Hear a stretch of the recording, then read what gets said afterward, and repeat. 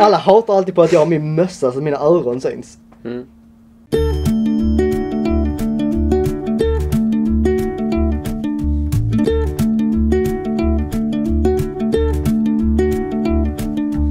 Så att öronen kan vara ute. Oj, Oj. nu ska ta i mössor och kepsar här. Yes. Eh, hej och välkomna till Snosa! Hej hej! Simon och Emil, idag är det onsdag vilket betyder Titta Topp X. Vi har tänkt lite med den här säsongen också, vi ska börja ta Titta Topics lite mer ordagrant, alltså ordet Titta Topics. Ni behöver inte bara skicka in problem ni vill att vi ska prata om, utan ni kan även skicka in ett ämne. Ni undrar liksom, ja ah, men Vad är bäst? Ja, men- Cola eller... Eh, Mm. kanske inte. Nej, eller någonting. Exakt. någonting som är roligare än det kanske. Ja men något så här ämne ni vill att liksom, vi ska prata om typ. Och ja, kanske inte bara, vad tycker ni om potatismos? För ni vet redan att jag tycker det är gott. ja. Ni behöver inte, det är liksom. Nice. pulvermos, yeah. Det, är så Det är så det är good shit, det är good shit. Ja, så det vill vi ha. Mer variation, inte bara jag är kär i min kompis. Men, eh, Det is just so much, that much answers liksom. yes. Men vi kör igång Eh, direkt. idag ska vi inte prata om sånt dock. Idag ska vi prata, nej, idag ska vi lösa problem. Mm. Let's. Eh, I somras fick jag reda på en grej som hela min släkt har dolt för mig i mitt 18-åriga liv. Min farfar är kusin med min mormor. Mina föräldrar är alltså sysslingar. Mina föräldrar växte upp i ett väldigt litet samhälle, så de hade väl inga annat val på förutom varandra. De hade inget annat att välja på förutom varandra. Paus. Hur litet samhälle växer man upp i? Ja. Väldigt litet samhälle. ja. Jag borde kanske varit misstänksam eftersom min mormor och morfar bor granne med min, min farmor och farfar. Mina föräldrar bodde alltså grannar och var sysslingar. Ingen tyckte att det var en stor grej förutom mina jag och mina syskon. När jag fick reda på att Hitlers föräldrar var sysslingar blev jag orolig. Hur ska min framtid se ut? Varför har ingen sagt något förrän, förrän nu? Finns det fler lögner i släkten? Måste jag gifta mig med min syssling nu? Borde jag fly från min familj? Aj, aj, aj, aj. Många. Måste först bara klargöra. Det är alltså hennes mormor, morfar, farmor, farfar. Syssling, vad, Alltså, inne, vad innebär det? Alltså vänta, hon har skrivit det typ Om min kusin, alltså Joel Får ett barn Och så får jag också ett barn, barn. Då är de sysslingar. Ja, Men alltså de är alltså sysslingar och syskon samtidigt. nej, Jo, jo, jo. Om deras, vad var det, mormor, morfar eller vad fasen var det? är kusiner Är kusiner. Eller? Nej, mormor, farfar, nej, okej, okej. farfar mormor Ja okej, så de fick barn. Deras mor och morföräldrar fick barn. Som då är sysslingar. Ja. Och det blir föräldrarna till det här Ja. barnet. Ja okej, nu är jag med. Det är ett fucked up släktträd, Ja, det- för det brukar alltid gå ut så här och sen så går de ihop igen är bäst bara!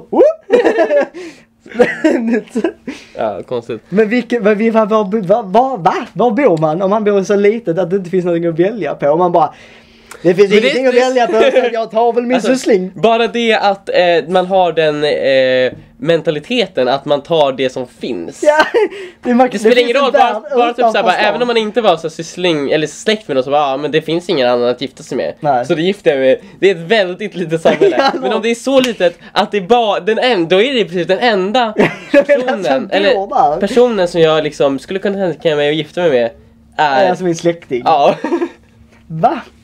Det är fucked up. Det finns en värld utanför byn också. om Du inte... Men hur-. Nu hånar vi i och för sig frågarens föräldrar, men vad fan. Men eh, eh, hur, de är, de är hur ju... äckligt tycker du att det här är på en skala? Sysslingar, hur nära är Sysslingar. man när man är syssling? Jag har ingen aning, jag, Jag, jag vet inte vem mina sysslingar är. Nej, jag, alltså, jag dock säga. jag vet ju om att min mamma har och min pappa har kusiner och sånt men jag har ju aldrig träffat dem. Nej. Nej, inte jag heller. Och om de har barn så jag kommer ju aldrig ha någon kontakt nej, med dem. nej, inte jag heller. Det Syssling är dock jävligt farligt. Vad Ja, fan, ja. De kanske, det kanske är samma här, de visste inte. Men syssling känns... Men om de bor grannar Ja, med varandra. samma, det här lilla samhället. Men tänk dig syssling känns som typ den mest avlägsna släkting. Man kan ha. Jag vet inte ens vad sån brullning och såna grejer är. Det finns ju sånt också men det är Men fan det känns, det känns såhär hittepå. hitte, exakt. Det är såhär hittepå släktingar som Ja. inte är släkt på riktigt. Men om det, om, om de... Att, att såhär kusiner. Där blir det såhär nej nej nej, nej syskon, nej nej nej. Mm. Ja, nej, någonting nej, såhär. nej, nej, no, no, no, no, no. Men sysslingar, det är fortfarande såhär äh, lite konstigt. Ja, men det, det blev väl inget fel på människan vad vi förstår. De kunde ju... Nej, exakt. Det är det som är En, eh, Det är det som är risken när Med- det är inavel. med inavel är att barnen kan, det är typ 60% chans att de blir, Att det blir något fel. Ja. Allmänt. Det kan vara alla möjliga fel tror jag faktiskt. ja men så här Typ, missbildningar men, ja, men eller- alla sjukdomar också som går i släkten kommer de automatiskt få. För Ja. att det är liksom såhär, it's a match. Så, ja, Perfect match. It's a perfect match. Så att, det är ju det som är problemet. Eller Ja. det största mer än det moraliska om man nu bortser från Men, att vi ska är... vi gå in, vi har inte ens svarat på den frågan, hur ser min framtid ut? Varför har ingen sagt något förrän nu? Och liksom, Jag förstår varför ingen har sagt någonting. ja. Det är bara en öppen mail. Jag förstod samma som du förstod bara "Oh, shit här var inte så jävla... Men, och, och, du måste, måste jag gifta mig med min syssling? Ja. Ja, ditt samhälle är ju tydligen inte större. Man blir som man umgås och jag antar att du har umgåtts en hel del med dina föräldrar. För de har, jag, de har ändå uppfostrat sig, hoppas, jag vet inte men jag antar det. Känner du din syssling väl? Är ni grannar? Det är ju sådana viktiga faktorer som du inte har nämnt i... Nej men, eh, det, om du, alltså, det här Nej. påverkar väl inte någonting. Du kan ju flytta ifrån byn, det är mitt tips. Ja. Allmänt. Liv. Nu har liksom halva avsnittet gått och Ja, det vi- känns, det är klart. svaret på frågan är rätt uppenbart. Så jag tycker vi ska... Fly! Fly din by! Ska vi köra den här då? Mm. Eh, hejsan, jag är en dude och min, mina polare tycker jag är skön. Men när jag ska smsa eller chatta med tjejer så går det käpprätt åt helvete. Hur skulle ni chatta, smsa med en riktigt vacker tjej? Oj. Smooth.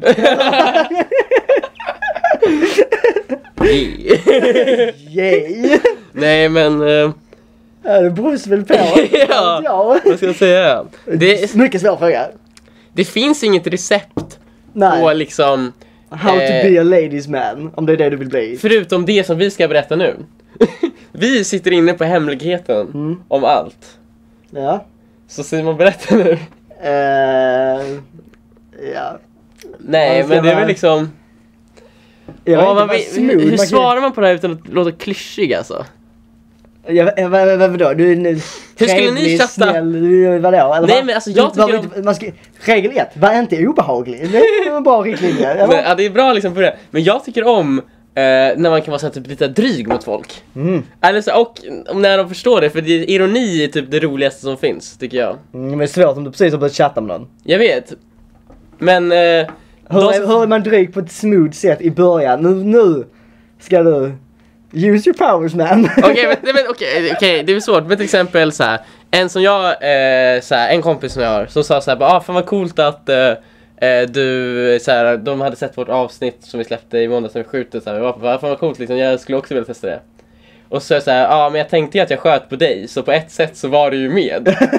Sådana saker som egentligen, det det är är, så här, kul ju. det är roligt ju. Ja. Sådana saker, men det är vissa som inte fattar sånt. Nej men då... Uppskattat, men då är det så här, eh, Ja, ja det var så. uppfattar man inte ironi Nej. och tar sådana saker seriöst är man ju Då, är det ju- då har vi ju en barriär som måste rivas. Men det är typ så, det är, de frågar ju hur skulle ni chatta? Jag, jag är ganska oseriös. ja, det, mesta. är nog jag också. En skön kille. Han ska försöka att han var en skön kille. Ja men var, var är ju själv då? Ja, var skön ja, men ska man inte alltid vara sig själv Upp till bevis. Ja. var, var inte obehaglig, kränk ingen. Som inte förstår att det är på skämt. Och är så här, du, man måste ha ganska nära Ja, okay, för att jag, jag, kränka det, någon. jag kanske inte går in med min såhär, det Nej. första man säger om man pratar med någon, då är det kanske inte såhär bara Nej. jag, jag tänkte att jag, jag skjuter dig. ja, eh, det, man måste ju ha byggt upp sin relation Exakt. lite. Du och jag kan ju Ja. är på den nivån nu. mm. Men eh, det kanske man inte Och då är det inte ens ett skämt, då är det ju Ja, på riktigt, ja, jag ja. tänker ju att jag skjuter dig. Du gör det? Ja, Oj. Ja, det ja. för det är sånt hat. Oj. Nej. Jo men liksom det är så det, det är så. Det är- det är så Nu har jag ju hamnat i är. en situation, jag har ju börjat göra det här programmet, jag kan ju inte sluta nu. Nej, det är ju din, Så det är- jobb. Det går ju inte bara så. Jag är ju skådespelare. Allt det här, it's a lie man. Mm. Ja, ja, jag vet. Nothing's Så real. fort kameran stängs av så ja, Så- händer hemska saker. Ja. Uff, uff, uff. Ska vi gå till Eh. nästa fråga? Ja men det är svårt liksom, vad... Oh, vi är tajt med tid nu men eh, Mm. Nästan så kan vi ta svaret i Snusa Extra annars. Yes. Mm, Yes. Hej Simon och Emil. Jag och min pojkvän hade varit tillsammans i ett och ett halvt år när han började klaga på att jag var, jag var för lång. Jag är 1,73. Eh, han påpekade att jag alltid hade hög sula på mina skor då han endast var 1,78 och han inte ville att jag skulle vara lika lång som honom.